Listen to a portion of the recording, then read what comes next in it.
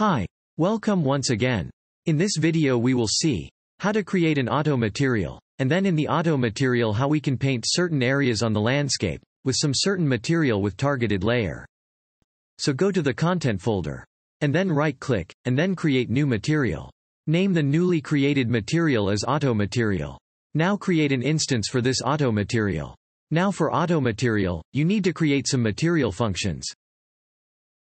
Right-click on the content folder go to the material section and create material function. Name the newly created material function as grass. We need to create one more material functions, name that rock. In this video we will create automaterial, with grass and rock, and we'll see how, based on the height or cliff, the grass and rocks are placed. Now double-click all this created materials and material functions. Now you go to the starter content of this project and then go to the material folder.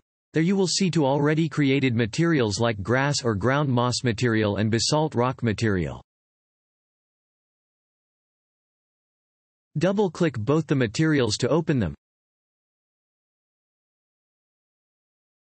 Now let's go to Ground Moss Material Editor, and zoom out the complete material graph. Select all except the last one, the main material node. Now go to the grass material function, and paste the copied nodes onto the material graph. Repeat the same for rock material function.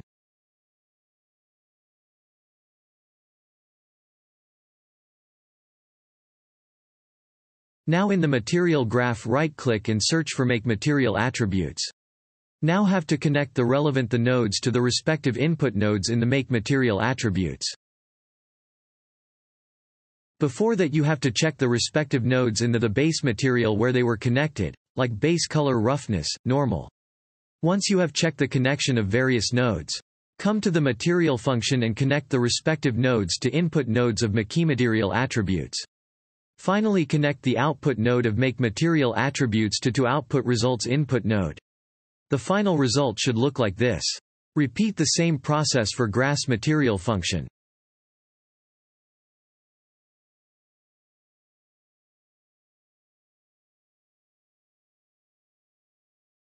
Now however both material functions are ready to be used in the auto material.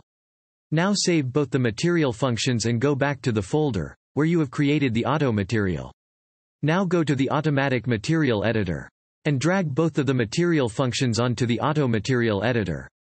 In auto material editor, right-click on the editor graph, and search for break material attributes. Now connect the output node of of material function to the input node of break material attributes. Repeat the same process for other material function also. The final result should look like this. Now search for lerp node in the material editor. Lerp node is basically the linear interpolate node. Now connect the base color output node of both the material functions, to the input node of lerp node, and finally the output node of lerp node, to the base color of the main material node. Linear interpolate is a blending type of node, and it's going to blend R base color from B, which is glass material function, and a which is going to be the base color from raw material function. Now if you plug this in you'll see it's actually just a 50-50 representation of both of them on top of each other. Which is not real, we need to be a smarter of how we're going to do this. If we're gonna actually make a material that looks practical world, we need to use the alpha. We need to drag off that input and connect to world-aligned blend. In the world-aligned blend node, we have two node which are important. First is Blender Sharpness node and other is Blend Bias node. Now get two scalar parameter nodes, and name them as Sharpness and Bias. And connect them, to the respective input nodes of world-aligned blend. We too are going to use these two inputs blend sharpness and blend bias. The blend sharpness define how quickly it transitions from one material to the other. So in this case glass to rock. And the blend bias is going to be how high up it transitions from gross to rock. We can change the parameters later also. As there is a adjustable LL so to make these adjustable later. Since we have that instance material. Still you can play around with the parameters of both this input nodes. And check how the material looks like. Now again copy the lerp node, world-aligned node, and both the scalar parameters and paste it again. Now connect the normal output node of both the material function to the newly created lerp node the similar manner that we have done for base color. And finally the output node of lerp node, to the normal node of the main material node. For ease delete the separate scalar parameter nodes, and connect the earlier scalar parameters at their respective node. This will help to control the parameters easily. Now you can modify the various parameters and check how the material looks like. Now save the auto material, and apply the same on the landscape. Now in fact we need to apply the AutoMaterial instance on the landscape. Now open the AutoMaterial instance, enable the scalar parameters values. And can play around with the values. Now go the level and go to the landscape mode.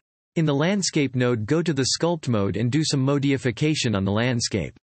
Once the sculpting is done, you will see some rocks texture coming around within the grass.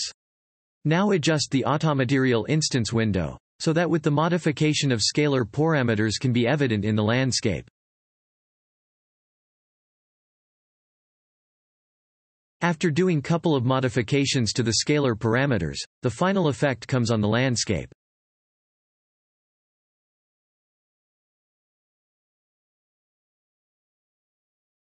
However the transition between the two layers are not smooth here. Those can be adjusted by altering the bias value.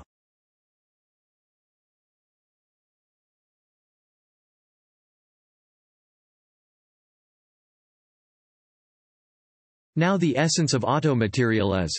This takes up the material of this own based on the world-aligned mapping. So in this example the cliff to have rocks and smooth area to have grass. Now if we want to give this material another angle, in terms of paint as per you desire or requirement, we need to add the landscape blend nodes. So go to the auto material node and search for the landscape blend material. Now select the layer blend node, and in the details panel, click the plus sign three times to create three layers.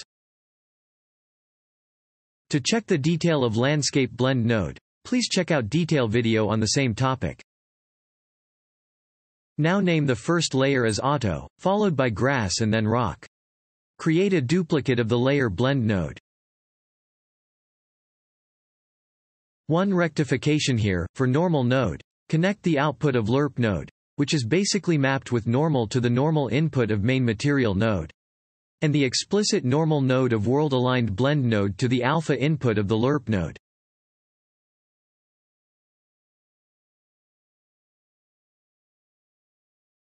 So for normal map also the mapping should look like this. Now for the layer blend mapping. Connect the lerp output node to the input of layer auto, in layer blend node. And the connect the normal output node, of grass and rock, to respective input node of layer blend. And finally the output node of layer blend node, to the normal input node of main material node. The connections should look like this. Repeat the same for earlier created layer blend node, ANF final connection to the base color. Save the material and go back to the level. Here again go back to the landscape mode and then select. You will see the earlier auto material is turned black, because of the lack of information on the layer part. So we need to assign the layer.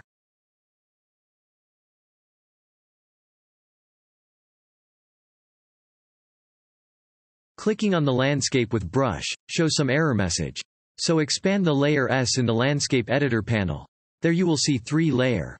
But these layers looks bit off, as coming in blue color. Let's check in the auto material node. OK here by mistake normal is connected instead of base color. Rectify the same for the grass material also. So the final concession should look like this. On now save and go back the level editor.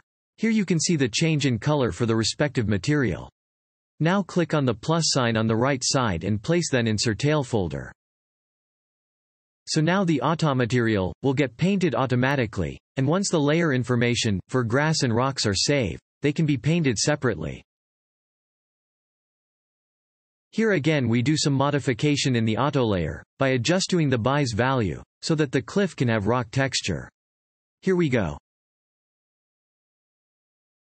Repeat the process of adding layer information, like earlier one, for the rest of the both layers also. And then after, selecting the individual layer, try to paint. Now you will notice you can paint individual layers also in addition to auto layers.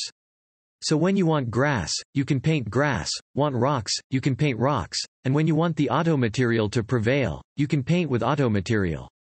So here we painted grass all across, which was auto-painted, so cliff area, which had rock earlier, can now be painted as grass, and now we are painting rock on grass, which was grass due to auto material and manual painted. Now again we are painting the auto material, so the cliff area has taken rocks and rest smooth area has taken grass. Hope this video helps you to initiate your journey into the creative world of Unreal Engine. Please like this video if you find it helpful and informative, and subscribe to our channel for newer updates and game development tutorials. Thanks. Thanks a lot. See you in the next video.